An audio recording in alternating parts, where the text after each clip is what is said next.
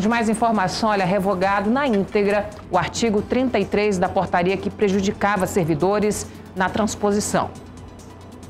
Após muita luta, desencontro nas informações e muita pressão, foi revogado o artigo 33 da Portaria 8.382, de 31 de outubro de 2019, que impedia o processo administrativo de transposição dos servidores dos ex-territórios com a ação judicial em andamento. Com a revogação na íntegra, todos os servidores agora que preenchem os requisitos serão transpostos para os quadros da União. Esse pedido já havia sido feito, mas o presidente da Comissão Especial de Transposição, Jamilson França, teria descumprido o acordo.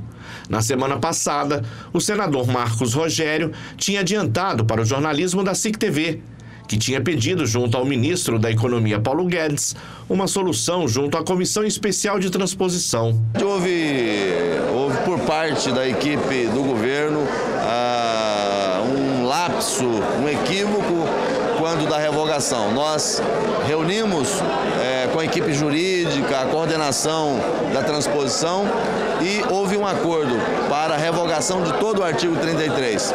E quando veio a publicação da revogação, foi uma revogação parcial, que não nos atende é, no objetivo maior.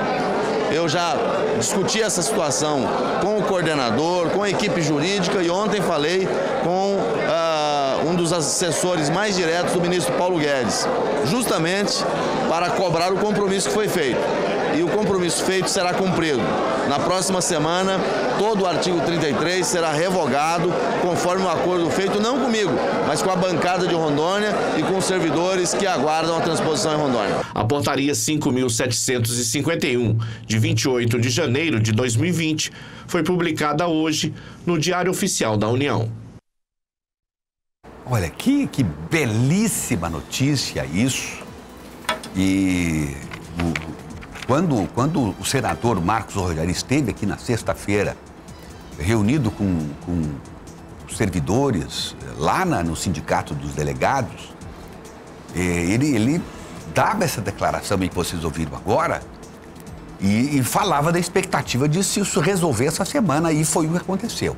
Né? Nós hoje pela manhã a gente já despertou com, com a, a portaria revogada, o artigo revogado 33, que era o, fatídico é, artigo que invalidava tudo, dificultava tudo, e agora parece que as coisas podem começar a andar sem maiores impedimentos.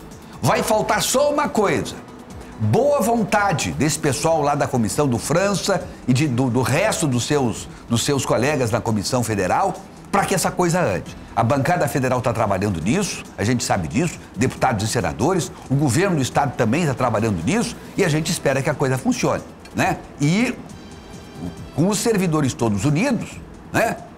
Usando aquele velho ditado, né? O, o povo unido jamais será vencido. Foi uma, uma prova disso, mais uma vez, com esse resultado de hoje. Né, Melissa? Isso é muito bom. Muito bom mesmo, Everton.